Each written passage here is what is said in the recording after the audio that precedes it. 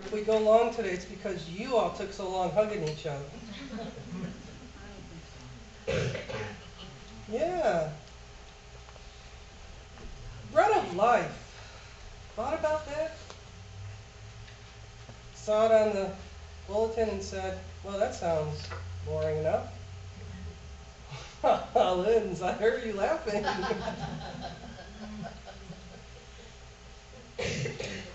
it's all about what feeds us, this bread of life thing. And on this Sunday, each year, as I said earlier, we at Faith Family United Church of Christ commemorate Transgender Day of Remembrance as well as celebrate all that it means to be thankful for all that we have and have been given and have been asked to steward. And so I want to do both of those things. The Transgender Day of Remembrance commemoration actually began in 1998. Now, I know some of us are too young to remember that. But it was to honor the memory of Rita Hester, a transgender woman from Massachusetts who was killed in that year. And the person who started this is a transgender advocate named Gwendolyn Ann Smith, who said this With so many seeking to erase transgender people, sometimes in the most brutal ways possible. It is vitally important that those we lose are remembered and that we continue to fight for justice. Sometimes I think I'm preaching to the choir in this church. You know, I think, I think we get that. But do you also know that this year, in the first 11 months of 2016, 26 transgender people were killed. That's more than two a month. This is the United States of America. It's 2016. And yet that continues to happen. In all of last year, 24 LGBT people were killed by hate violence. 67%, or two thirds of them, were transgender and gender nonconforming people.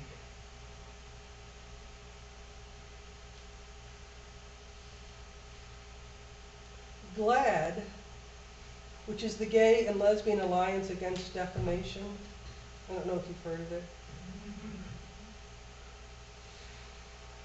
They said that discrimination against marginalized groups has increased since the recent election and the March passing of the House Bill of House Bill 2 in North Carolina. I called and checked with another pastor, a friend of mine. She's part of the LGBT community. And I said to her, I saw in the news that four trans young people, students in school, committed suicide last week after the election. And she said, I saw that too, and I'm afraid it's true. There's a real heaviness to this day in some ways. And yet, despite what continues to happen to this particular group of folks in our country and world. And so far in 2016, over 209, there have been reported 295 deaths among the transgender community worldwide. But despite those terrible statistics, there's hope. My sense is, from folks I know, that not one trans person is going to choose to live without integrity because other people choose to live without integrity and threaten that person's welfare and even life. I think there's some real hope to be said by folks who insist they will be who they are. They will be who God created them to be and co-create with God who they will be in the future. And I find that incredibly hopeful. That doesn't mean there's not a lot of hard work for the rest of us. I don't know if you saw on Facebook or the news or some other media the safety pin project that's, that's been going on. It's somewhat controversial. But it was intended to be to stand in advocacy for people who were made vulnerable by the election of officials that spoke against those folks. And so we're not only talking about homophobia and transphobia that folks need protection. We're also talking about things like Islamophobia. And we've been called on in the United Church of Christ and by our conference minister here in Florida to stand with the Muslim community in whatever ways we can. But again, in all that may frighten us, there is hope. Because God created us in God's image and likeness.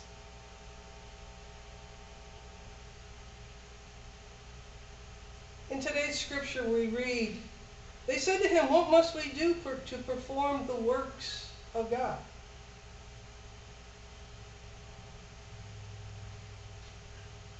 What must we do to perform the works of God here in this place and space where we find ourselves in November 2016? Jesus answered them, This is the work of God, that you believe in the one whom God has sent.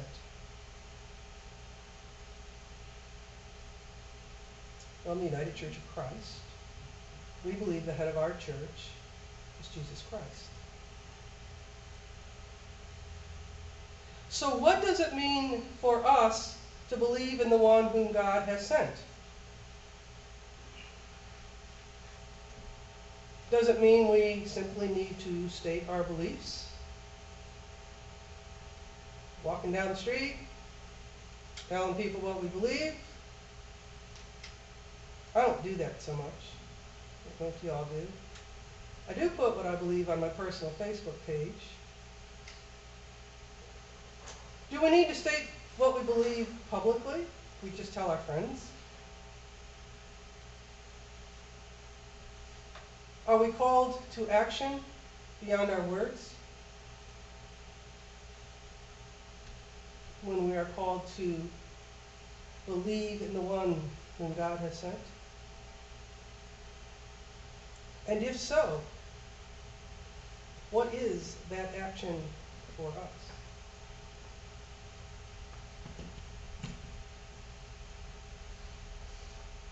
Did you ever stop your car when you were driving down the street because you saw kids bullying another kid? Did you ever get out of your car, take that risk?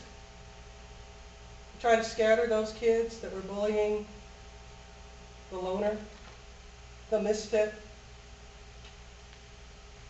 the one who's probably more like me than I know? I can remember doing that. When I was younger, smaller, faster. so what do we do today?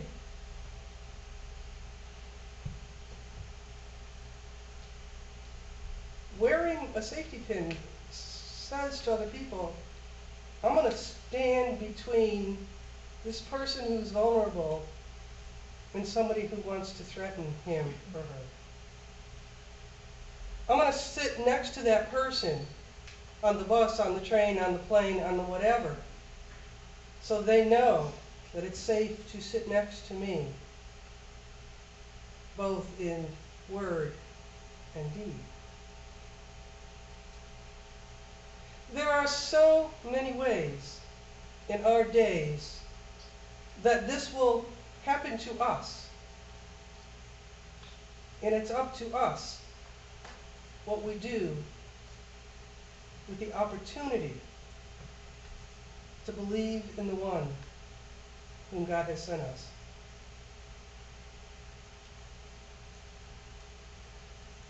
But I'm hopeful. And part of the reason I'm hopeful is that I pastor this little church called Faith Family United Church of Christ, and I know every person in it, or I will get to know them. And I know I can count on the goodness and the integrity of everybody here. To, in whatever way you are able, and we are able, to stand up against anyone being bullied because she or he is different. I suspect some of us were bullied in life as young people in situations where people had authority over us and sometimes bullied us. We're all in a position to do something. And if you're 80 years old and use a walker, as some of our folks do, probably that is to pray. For all of us, it is to pray. And for some of us, it is to do more. Jesus then said to them, Very truly I tell you, it was not Moses who gave you the bread from heaven, but my Abba, who gives the true bread from heaven. For the bread of God is that which comes down from heaven and gives life to the world.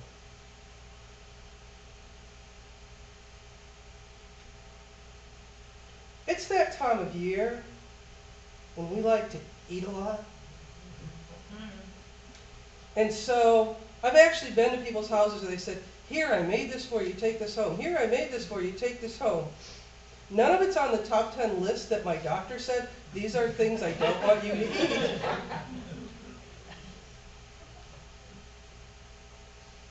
And I eat them just because I want to be kind to those people who've given them to me.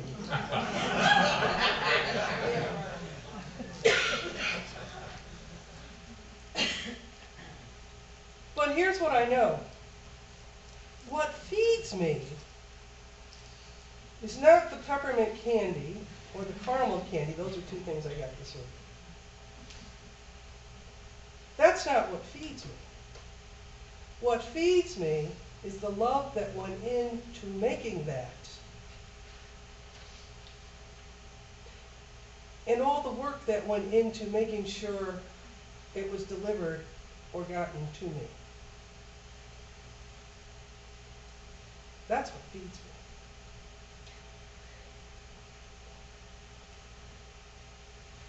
I think this bread of life that feeds the world is something we can look at in a few ways. I think, first of all, it's food for the body, this bread of life. It is food for the body. If it weren't food for the body, why would we be collecting food to take the Eka. If it weren't food for the body, why would we keep that food pantry stocked? If it weren't food for the body, why would we put on our sign out there, come to our yard sale and get free food? So part of it is food for the body because you know what? God doesn't want anybody to be hungry. The last mission we had that poster is still on the wall, soon to be replaced by our Christmas poster for our children. But the poster on the wall says, so that no child goes to bed hungry.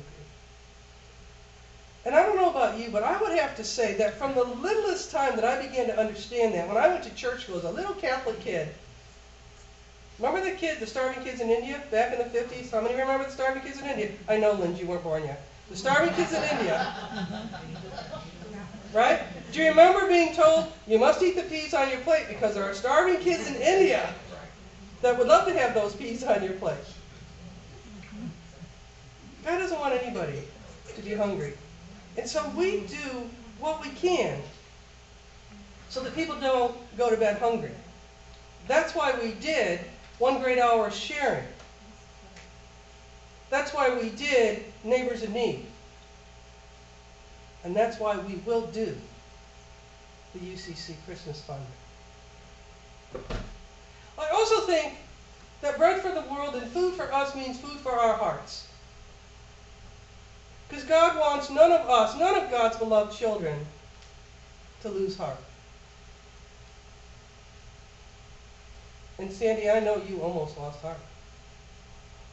I know that was hard. It's still hard.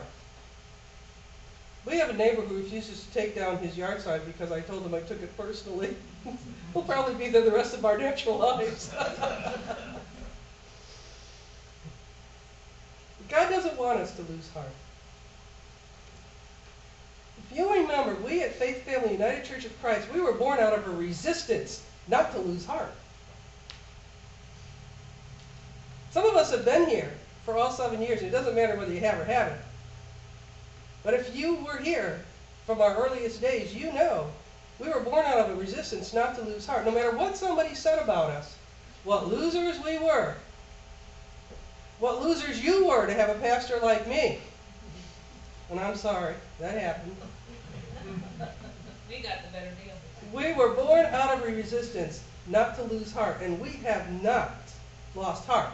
And the very first day we met until this very day, and all those days in between, the one thing we have been consistent about is that whoever comes to our doors comes through doors of extravagant welcome into a place of sanctuary.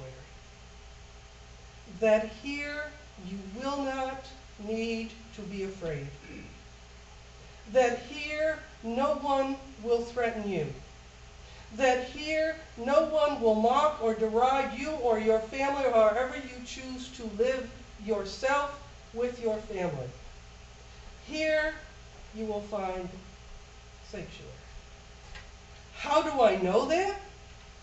Because I know you guys. And there's nobody here that's not about making sure everybody here is safe and can have and find and be in sanctuary. And I think bread for the life means food for our souls. God wants our souls to be fed to overflowing. With what?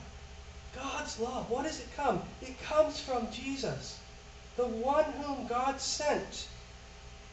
Sent as what? This big warrior king? No. This vulnerable infant child. Promising only, not to lead us into battle, but promising only to be Emmanuel, God with us, always and forever.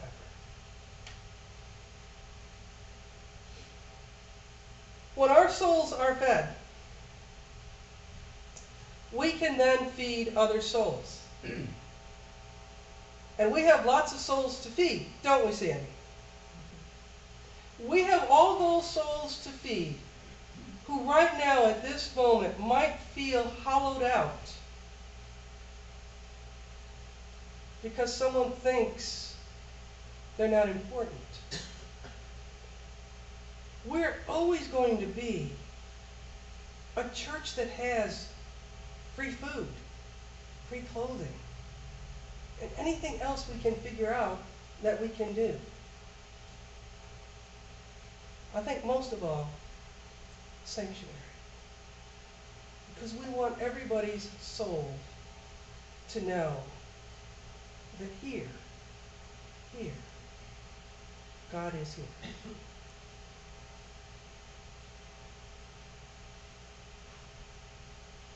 And then the folks said to Jesus, Teacher, give us this bread always. I thought that was kind of bold. That's what we used to say when I taught Catholic school. That's bold. Give us this bread always. Really? And Jesus says to them, despite this demand, I am the bread of life. Whoever comes to me will never be hungry.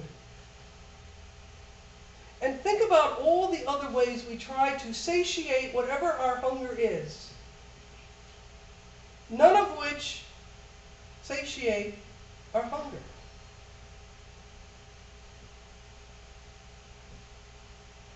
And so we run away from God and we run to all the things we run to for diversions. I have a lot of diversions. I don't know what yours are. But I'll tell you what I won't do again, and that is take Mary on a gambling boat. It took us 10 minutes to spend a hundred and some dollars, and I'm not kidding. And then we're on the boat and we can't get off for an hour. I'm like, I'm not doing that. I don't care what diversion I need.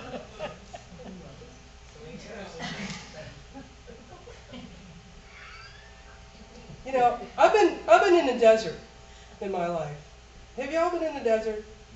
You know what the desert is? The place where you're feeling dry, you can't quench your thirst, no one's feeding you, you're all alone. It's a pretty scary place to be. And it's pretty much a spiritual desert. It's, it's not necessarily a physical desert unless some of you have been to a physical desert. I mean, I was at Palm Springs when it was 120 there, but that to me is different. I was looking for Dinah Shore. She wasn't around. Too far away from the That water. gives your age away to Well, that's that was her golf course we went to visit.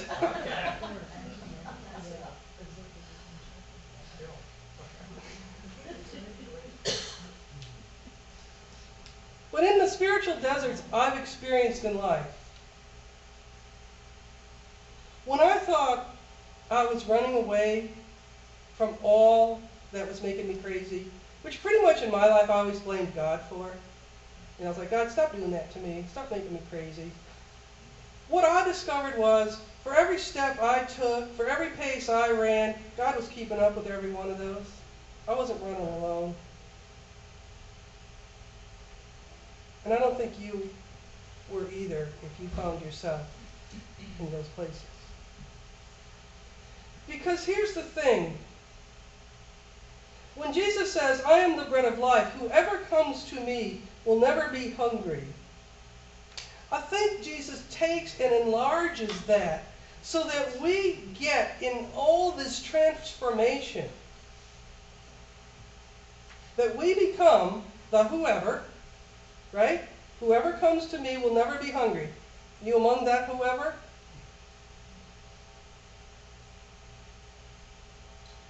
Is that a yes?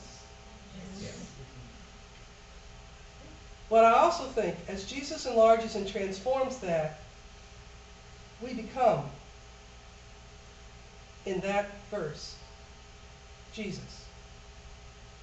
We become what we say a lot Jesus' hands and Jesus' heart in this world. And we become those who then feed the rest of the whoever. That's who we are. And so, on this day that we celebrate Thanksgiving, for our God, we give thanks. For one another, look around at each other. For one another, look around at yourselves. Look around. We give thanks. For our call to be Jesus' hands and heart in our community and world, we give thanks. Might be grudging at times, but we give thanks. For receiving for ourselves and for becoming for others the bread of life, we give thanks. Amen.